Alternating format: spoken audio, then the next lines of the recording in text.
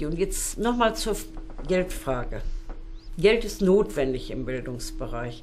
Aber wenn Sie keine Ideen haben, wenn dadurch die Bildung qualitativ nicht besser wird, dann äh, nützt Ihnen Geld allein auch nichts.